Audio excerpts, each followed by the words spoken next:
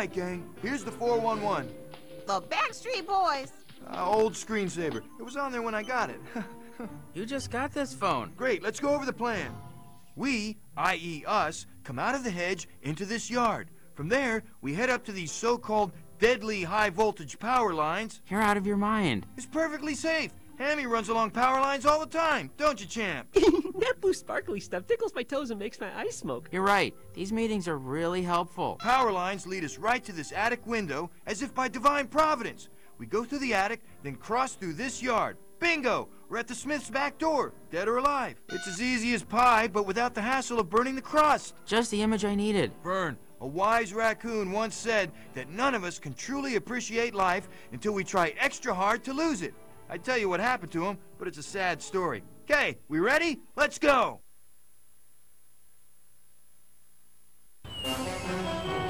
Wow, it's like the best party ever, only the theme is mayhem. There's just no substitute for human party decorations.